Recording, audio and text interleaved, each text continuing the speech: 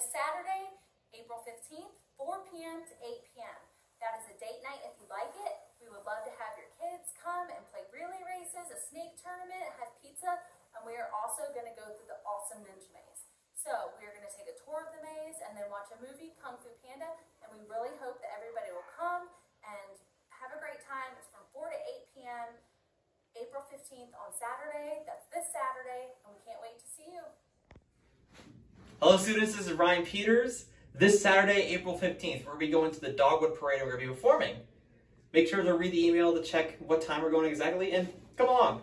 The more the merrier. Hello, everybody. I have a real important announcement that I want everybody to look at and take serious and know that when it comes in that it's not spam. We're updating our credit card processing system, so we're going to send out a special email. It's got a lot of details in it.